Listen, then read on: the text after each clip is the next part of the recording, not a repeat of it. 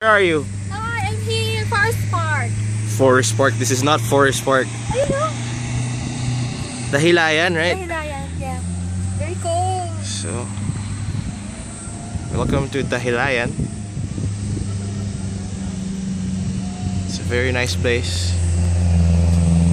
Very cold uh, weather like Baguio. A lot of activities. You got Zorbing over there. I, I don't know what it's called, but I think it's some go-kart over there. Uh, you're gonna slide over the, I don't know what you call it, downstream sliding, whatever. You got some trampolines over here.